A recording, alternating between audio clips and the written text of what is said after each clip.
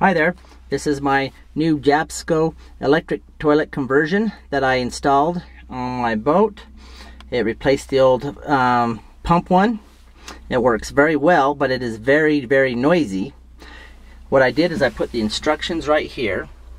Instruction one says, open your um, seacocks.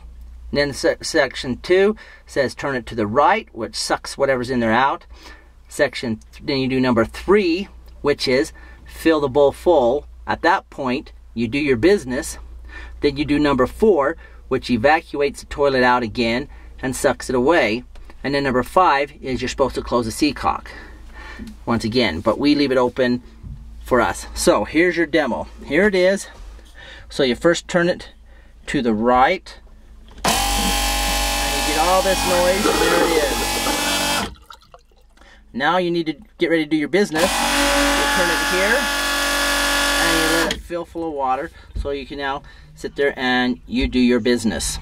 When you're done doing your business, you turn it to the right again.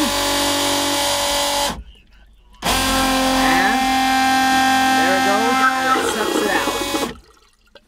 And it all macerates it all right there as it goes through the flush and into the holding tank it goes. Hope you enjoyed the demo.